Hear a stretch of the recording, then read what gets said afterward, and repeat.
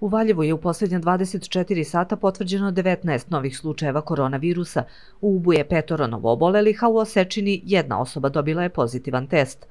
U Mionici su dve osobe sa simptomima koronavirusa. U Ljigu nema novoobolelih, dok su u Lajkovcu još četiri osobe sa simptomima virusa SARS-CoV-2. Navodi se u najnovijem izveštaju Zavoda za javno zdravlje Valjevo od 23. februara.